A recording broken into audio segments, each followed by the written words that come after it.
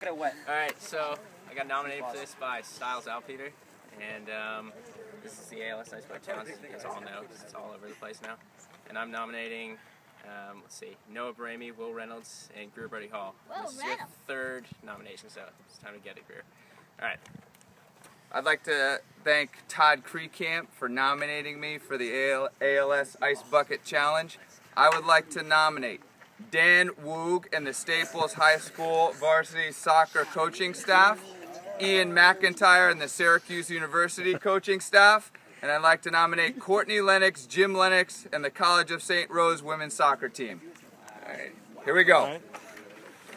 Woo! We